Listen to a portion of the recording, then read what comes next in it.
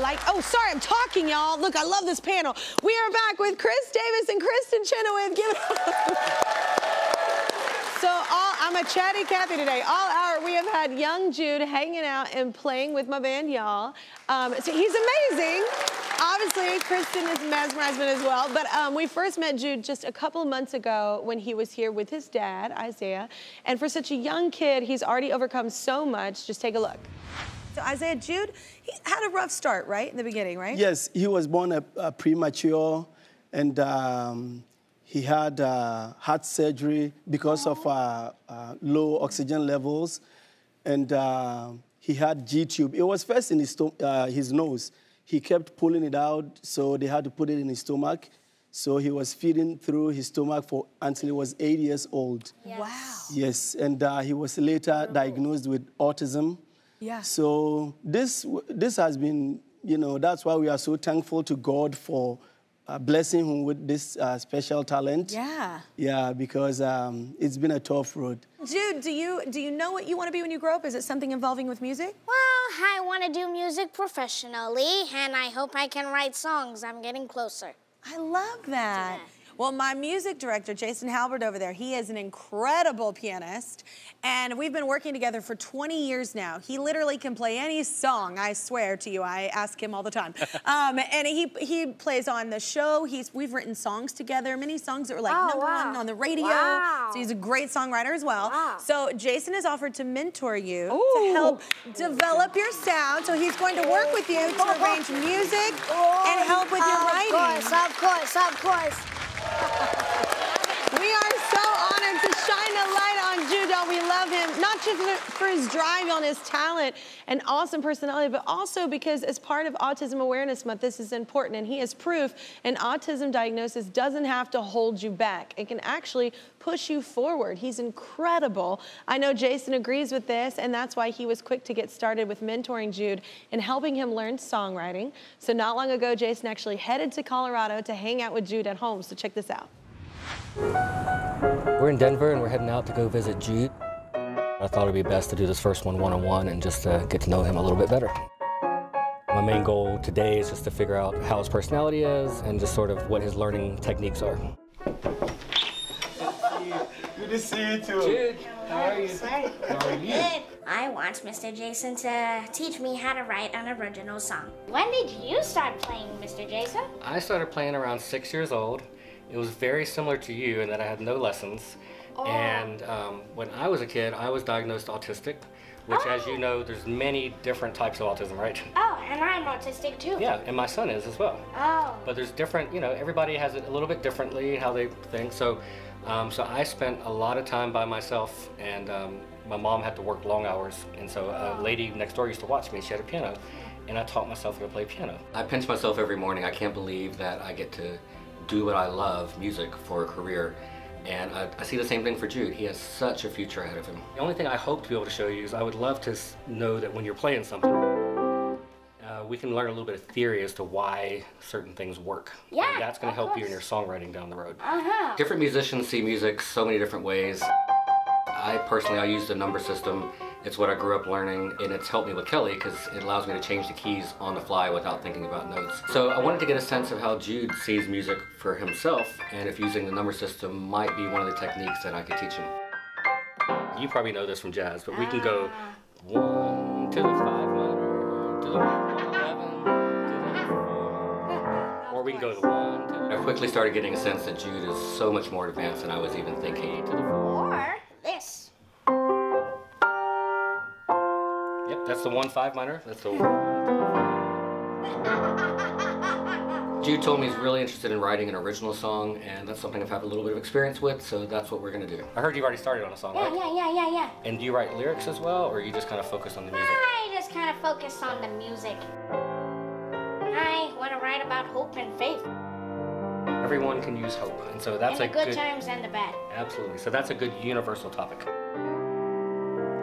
I'll see you soon. We're gonna be on Zoom together, and uh -huh. so uh-huh. we're gonna have lots of more fun. Yes, I'm gonna bring in some writers, and then if you need anything at all, your dad has my number. Feel free to call me if you need to, or text me, or Zoom. I'm there for you.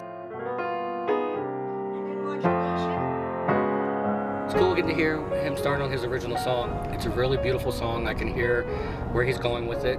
It's a little complex for pop. We're going to really simplify some things down in the verse, and that way the chorus can shine. And um, yeah, we're, we're going to make it so that he shines and whoever's singing it shines at the same time. I was just so impressed, not only by his talent, but um, such a fun kid to be around, and you can tell he comes from a really great home.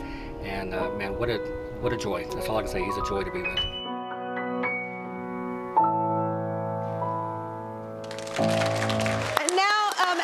Performing all hour with my band, y'all, Jude is here on the couch along with his daddy Isaiah and my music director Hello Jason again. Halbert.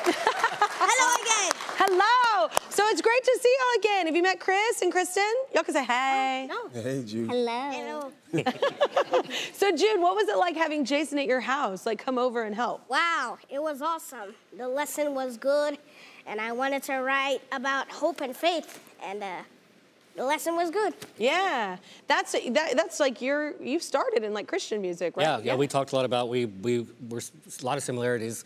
Uh, you know, because as you know, I was diagnosed autistic at the time. Now we know it's a spectrum. So Yeah. I put all my stuff into music and grew up in church, and that's how I learned to follow people with different kind of timing. that's why I've been able to play with Kelly. So you're excellent. But so I really related to Jude, and like I, you know, we, we got a lot of time to talk about songwriting because Uh-huh. I can't teach him anything about piano. Like when you said mentor, I thought, oh, I'm gonna show him some things. Like the kid is true level prodigy, and so I gave up real quick on that. And he was like, don't worry, I'll teach you. That's what you told me. Yeah, thank you.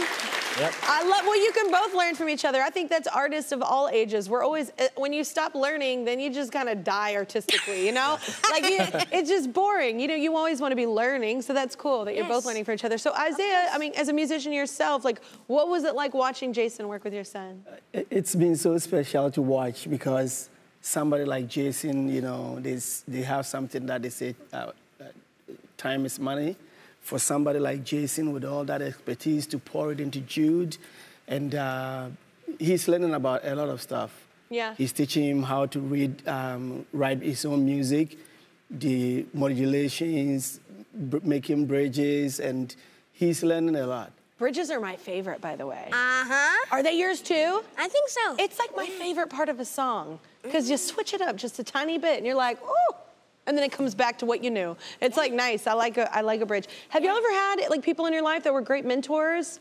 Like you know how Jason is with Jude right now. Have you ever had that? I had a great teacher at my college, Oklahoma City University, named Florence Birdwell, and she's the one that told me you don't have to just be a gospel country singer. You can be, you can be an opera singer. You can, and she didn't let, she didn't have me in a box. So I want to say that to you. You can do all that music. It impressed me, kid. Yeah. The limitless thing is nice. Did you have that? Well, I, honestly, I thought about that, and I, I, I have a lot of people who I call my angels, um, who along my journey taught me new and specific things as I grew, because I needed more. I needed more as I grew, and some people only had enough knowledge for this time in my life. And Yeah. there was another one that helped me pivot, and another one. So collectively, those are my angels. I wouldn't say just one. And that's really good surrounding yourself with people that make you a better version of you too. That's Yes, like, yeah. absolutely. Listen, 101 in friendship. That's awesome. So Isaiah, you have something that you want to say to Jason, right? Yes, um, we are so very grateful. So to thankful. Jason, and uh, we say God bless him so much because, again, he spends his time to fly all the way to Colorado. Yeah. To you know, looking at, at where I come Well, from. in Colorado is awesome. I know. yeah, looking at where I came from, Ghana, and to see all this going on, it's it's it, it- it's so huge for us, and uh, we will forever be grateful to Jason, the whole team, and then especially you too. Oh my gosh, no, it's the coolest thing for us. You know, we've been in the industry for a minute. He's been in longer than I have, and it's, man, Jude, I can't say this enough. Like, to, we're still students, you know, and we've been doing it for a minute, but still to have you come on, this kid come on and like school us a bit and teach uh-huh. us and inspire us. It's a really cool thing to just have that creative outlet that just you get to trade that energy with other people. but I know, I know that Jason, you have a surprise for Jude, so tell him what it is. Yeah, I do. When I was visiting your house, I know we talked a lot about songwriting, and a big part of songwriting today is production. And I know that you're getting into some things like that. And I thought, well, what can happen? I can't be there all the time, but maybe I could give you a tool to help that process. And so I went out and got this for you. I've got you your own laptop, which we're going to get Logic here on here, and we're going to work on your song on this. Thank so you so much. Share it with your brothers and sisters. That- Yeah. That's a music making tool. All right, well, this is hardly the last time we're going to see Jude on the show. Once he and Jason finish their song, we are bringing Jude back to perform it in person. We are very excited about this. And I'm gonna decide who's gonna sing. All right, I like it. I like it.